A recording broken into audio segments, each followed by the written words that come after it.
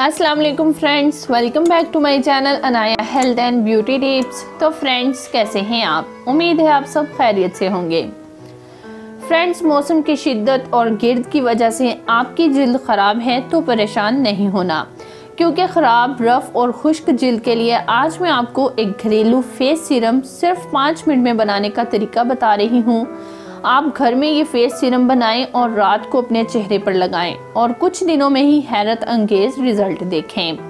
ये सीरम आपकी जिल्द को नर्म रखेगा और जिल्द की रौनक बहाल करेगा। इस सीरम की सबसे अच्छी बात यह है कि ये कुदरती अज्जा को मिलाकर बनाऊँगी आज मैं। इसलिए इसका कोई नुकसान हो, इसका तो कोई अंदेशा ही नहीं है। तो चलिए मैं आपको बताती हूँ कि कैसे हम इस सीरम को जल्दी से तैयार कर लेते हैं। इस सीरम को बनाने के लिए आप एक छोटा सा बाउल लें। इसमें डालें तीन चम्मच रोज वाटर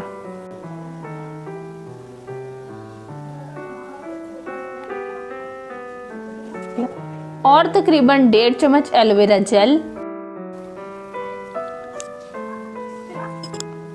एक चम्मच ऑलिव ऑयल यानी जैतून का तेल।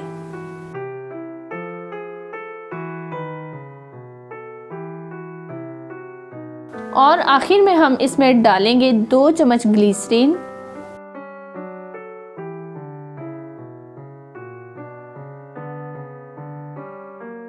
अब आप फ्रेंड्स इन तमाम अज्जा को अच्छे से मिक्स कर लें।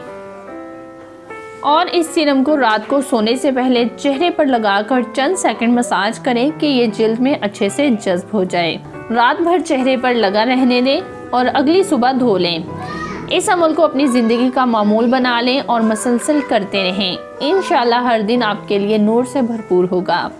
और चेहरा चाँद की मानी रोशन होता जाएगा। आपकी जिल तरोताज़ा और नरमो मुलायम होती जाएगी। महँगी क्रीमों के इस्तेमाल से पहले कम अज़ कम एक दफ़ा इसको इस्तेमाल ज़रूर करके देखना। और नीचे कमेंट्स में अपनी राय का इजहार ज़रूर करना। वीडियो पसंद आए तो इसे अपने दोस्तों के साथ शेयर भी करना और वीडियो को लाइक और चैनल को सब्सक्राइब भी ज़रूर कर लेना।